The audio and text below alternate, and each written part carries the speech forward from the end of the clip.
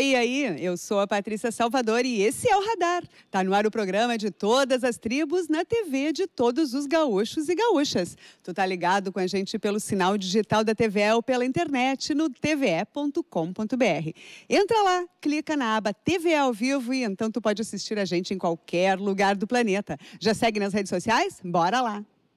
No programa de hoje tem entrevista sobre um evento que vai trazer novidades do mundo da tatuagem. É a segunda edição do Vale dos Sinos Tatu Fest. Tu confere os destaques do mundo da música e do entretenimento no quadro antenado. E para embalar o início do fim de semana, vamos de som com a banda Free Time. É com vocês, guris.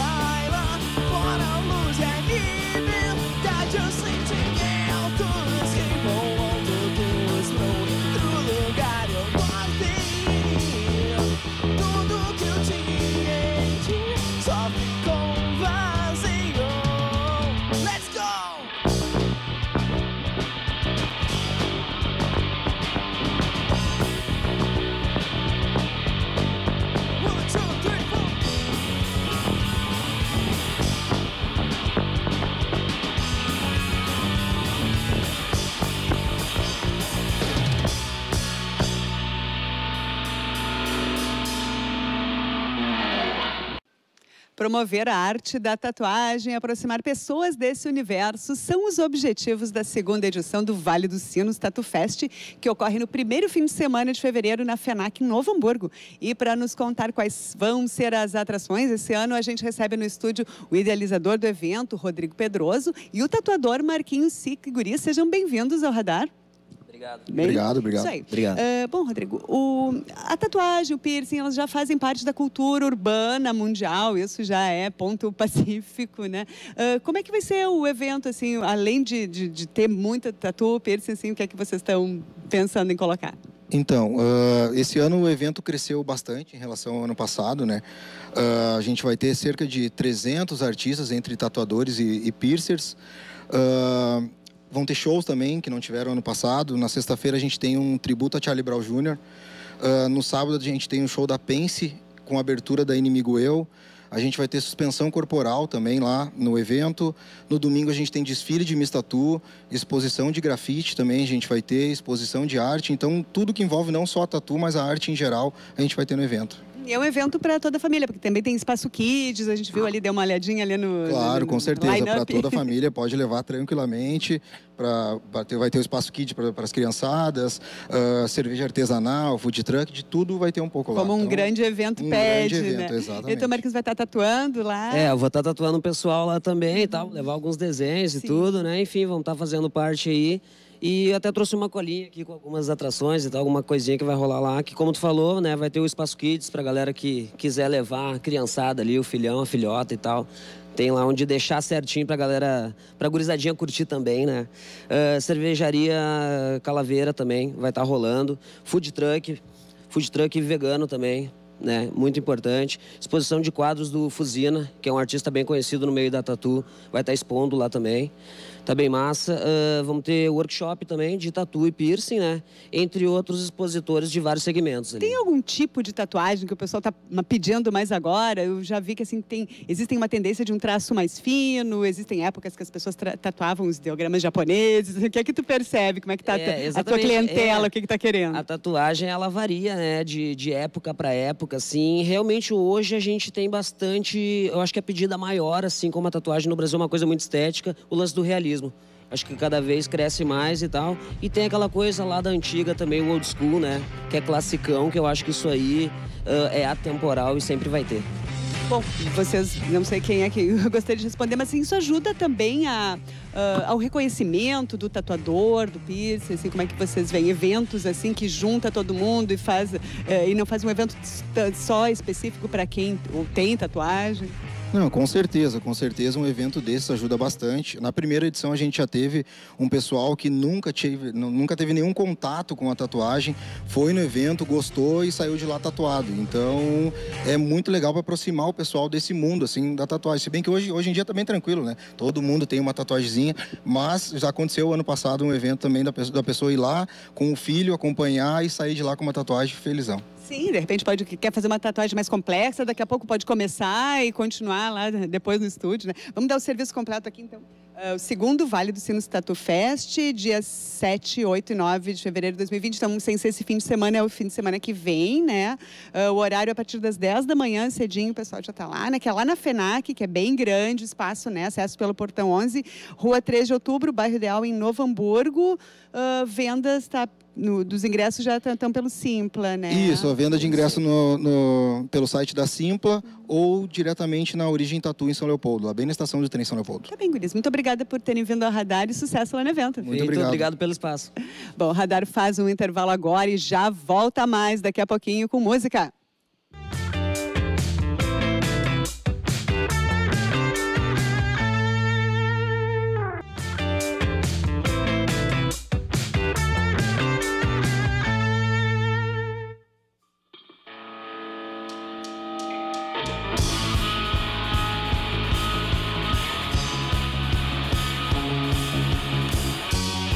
Música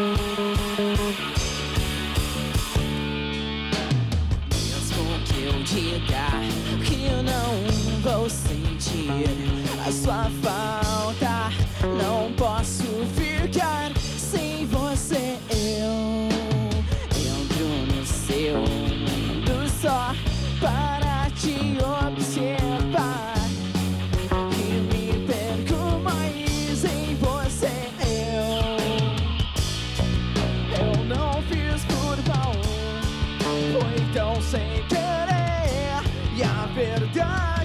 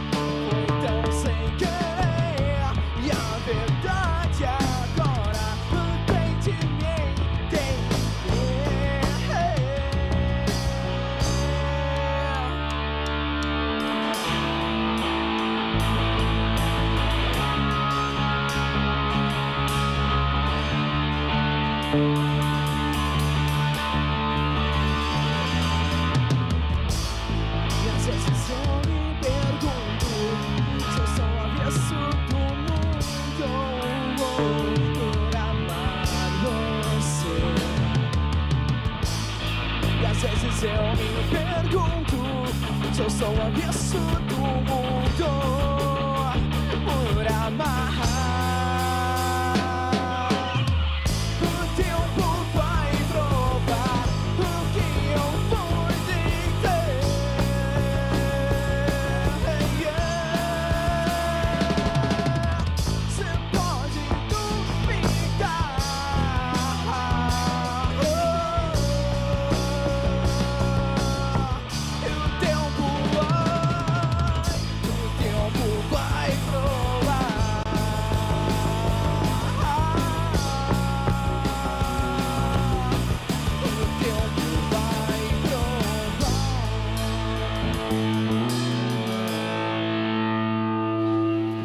Banda Free Time abri- abrindo o segundo bloco do Radar. Bem-vindos! Bem-vindos ao programa, bem-vindos à TVE. Obrigado. Tudo bem? Certo. Ah, bom, Gurias, a banda surgiu em 2011, quando o movimento do Emocore estava num, num auge de divulgação também pelas redes sociais, bastante. Ainda aparece esse conceito, assim, o que, que vocês podem dizer?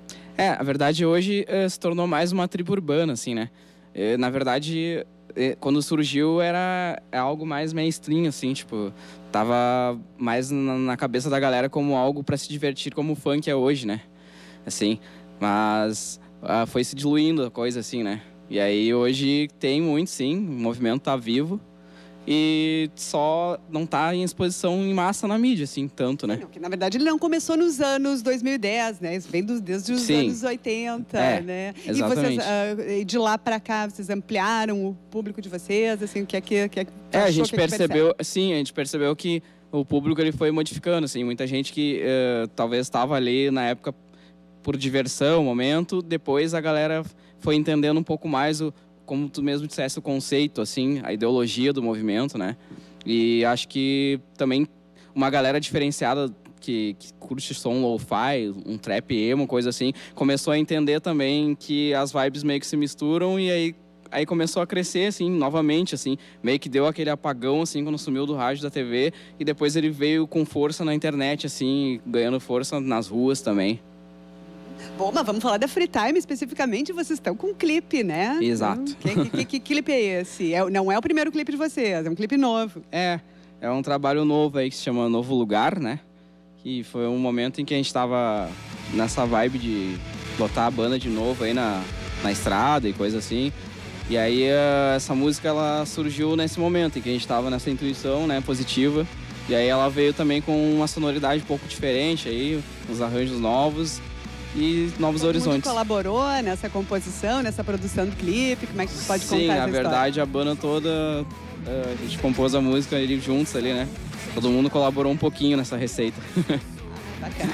Bom, então, assim, quais são os planos aí para o ano? Vocês têm show? O que é que pretendem fazer de trabalho novo? Ainda divulgar o trabalho que já está rolando? Assim, O que Sim. que vai acontecer? É, bom, a gente está trabalhando atualmente mais Porto Alegre, região metropolitana, em questão de show, de show né? Desculpe. Mas a gente está, assim, se programando para subir a São Paulo aí, né? Se der tudo certo, até a metade do ano, porque tem uma galera que curte o som da banda lá e um movimento grande também lá, e a gente está muito afim de participar das questões de show lá também. Tá bem, mas antes disso, bom, vocês têm uma agenda aqui que eu tenho no dia 20 de fevereiro, na pista do IAPI. Vai ser um show só de vocês ou como é que vai ser? Não, na verdade vai ser um evento que vai rolar lá na pista, né? E vai ter outros artistas da cidade, uma, tipo, um evento mais misto, assim. Uma galera do, do grafite, uma galera do artesanato e bandas também. Então vai ser bem legal.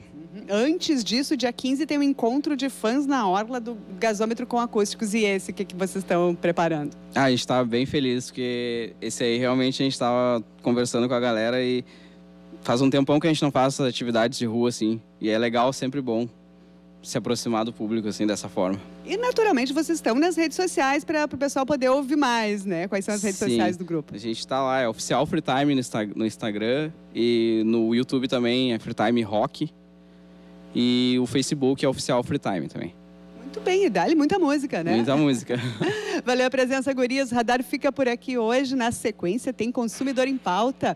Antes de encerrar o programa com mais música, um recadinho. Na segunda-feira, tu vai conferir um programa especial de clipes gaúchos que foram lançados no mês de janeiro. Não perde. Tchau, beijo, bom fim de. Dá-lhe mais som, gurizada.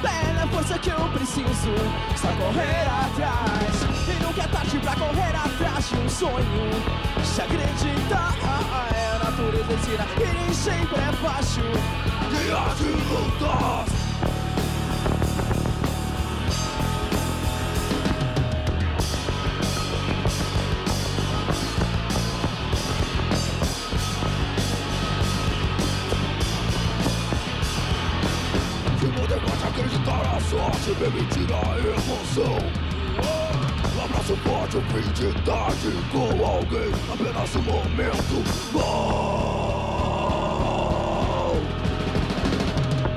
novo lugar, o amor pra somar. Já que a vida é feita das nossas escolhas, eu vou criando o dia a gente encontrar. Novo lugar, em qualquer olhar. Vai ter a paz, a sintonia que eu vou buscar. É liberdade em cada sorriso que encontrar.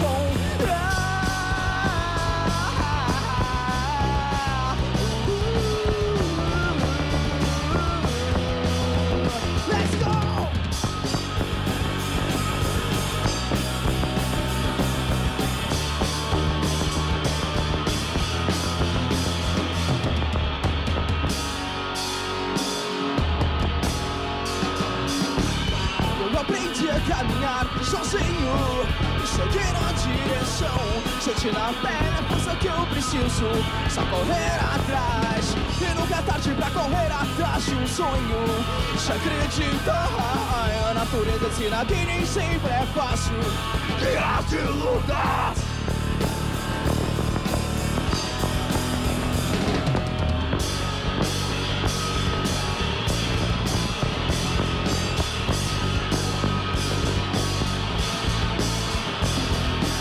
Se você pode acreditar na sorte, me mentira a emoção Um abraço forte, fim de tarde com alguém Apenas um momento bom